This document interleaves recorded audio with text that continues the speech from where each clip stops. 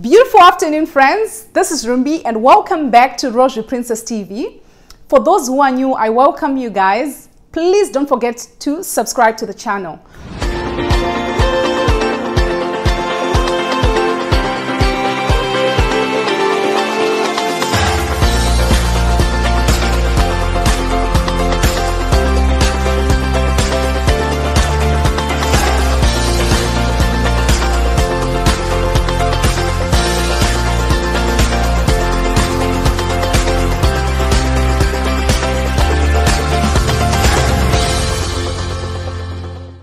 Today's episode, I'm coming with a kind of different topic.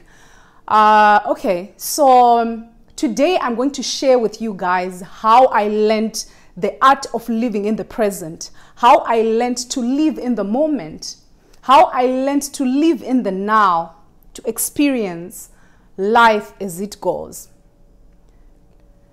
Not living in the past, or not being anxious about the future, but living in the present, like right now. Okay, uh, it took loss for me to understand the real meaning of life. It took loss for me to understand that I should live in the present, I should live now. Okay, so basically, I'm going to share with you the lessons I learned from loss, the lessons I learned from losing loved ones. Uh, I know this is a very difficult topic. Uh, it's the experience of losing loved ones is not easy. I don't want to lie to anyone. It's it's a very difficult experience, but I I thank God because I ended up learning something, learning lessons. Just a brief background. I lost both my parents I lost a number of siblings. I lost my nephew in 2014 uh, in a car crash. And he was just young as me. He was not old, like, you know, sometimes we think we have a lot of time. I'm sorry, guys. And um, I lost quite a number of friends who were young. So this taught me the real meaning of life it taught me to understand what life really means. Uh, so, the first lesson that I learned is sometimes it's now or never. When all of these loved ones left, I had questions I wanted to ask them, but no one was there to answer them. I had uh, planned, I had a lot of plans with them in my mind because I thought we have more time. So, lesson number one is sometimes it's now or never. So, if you have something you want to do, do it now. If you want to call your loved one, call them now. If you want to spend time with your loved ones now, because life is now. We live in the present, in the moment. It's there right now. If I'm telling you that it took loss for me to understand the meaning of life, I mean it. For me, I didn't really understand what life was until I this happened. Um, my journey of grief was not easy. I don't want to lie. I know people grieve differently. But for me, I, I had questions, and those questions are the ones that led me into lessons. And these lessons led me into a lifestyle, my new lifestyle, which is living in the present. I'm now living in the moment. I used to live in the past. And at some point, I was someone who was very anxious about the future. What is going to happen to this? Where am I going to get this? So what will happen in 2035? So what? I stopped all that. I'm not saying that you shouldn't have savings for your future. No, I'm not talking about that. I'm saying live in the moment, enjoy every moment. You know, when you live in the present, everything is totally different. I want to give you an example the way I eat my food now is different from the way I used to eat way back. When I eat my food, I enjoy it. When you are living in the present, the food, even the food tastes differently.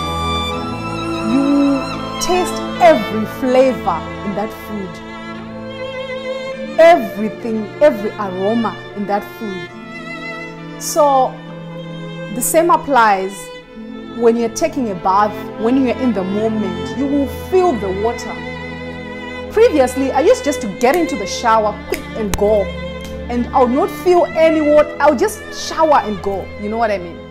But now I take my time. I learned the art of slowing down and try to understand life in the present, enjoying what is happening. Because I realized that worrying does not change any, anything no situation was ever changed by worrying. We get worried about what am I going to eat tomorrow? Okay. So, actually, what happens when you get worried? Your creativity is blocked. You sometimes you not know what to do. You become stuck.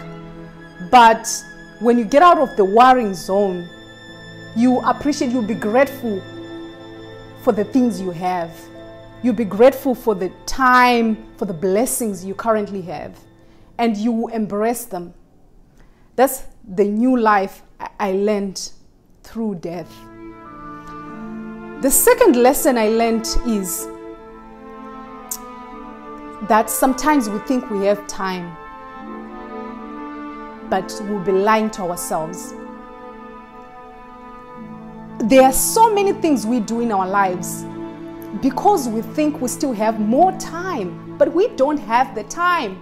The time we have is now. I mean, right now. That's the time we have.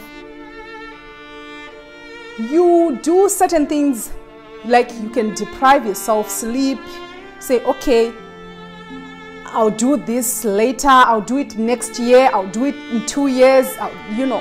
I'm not saying don't plan, don't have five year plans. No, I'm not saying that. But what I'm saying is live in the present. Even if you plan for the future, it's a good thing. Live in the present. Be there, be where you are. Okay? So, um, I said the other lesson is that we lie to ourselves that we still have time. As I told you, I've witnessed a lot of young people losing their lives. Young people, including babies. It's not easy. But one lesson I picked from that is we think we have time, but we don't have time. That's the truth. Because we don't know. You, you don't know what happens tomorrow. So enjoy every moment, appreciate what you have just being grateful for what you have is very important. Okay. I also learned that the richest place um, sometimes is the graveyard.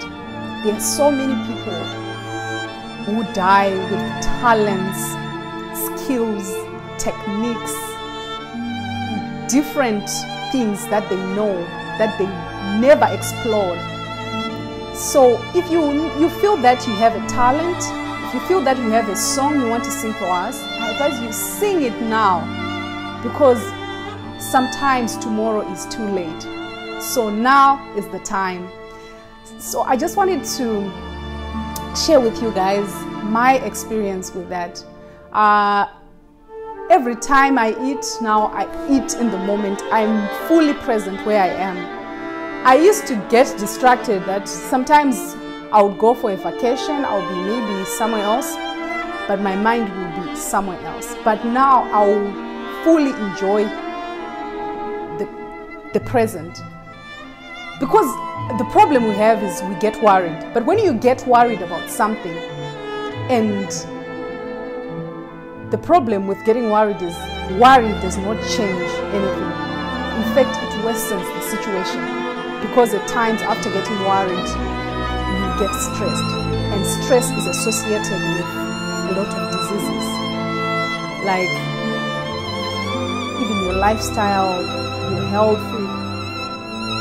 You, when you're stressed, you don't think straight. Even your creativity is blocked. You can just grab anything and eat. When you're stressed, um, there's some people who eat when they're stressed. They just eat to relieve their stress. You know, people can just do different habits because of stress. So, before I go, I just want to say don't be stressed. Live in the present, live in the moment, and just know that live every day like it's your last day. Live every every day like it's your last breath. Enjoy your, your, your, your, your next meal like it's your last meal. Okay? Thank you so much, guys. This is uh, that's all that I wanted to share with you. The art of living in the present, present, the art of living in the moment, living the life, feeling that you're living in the moment. It's so important. Okay, guys. Bye. See you on the next video.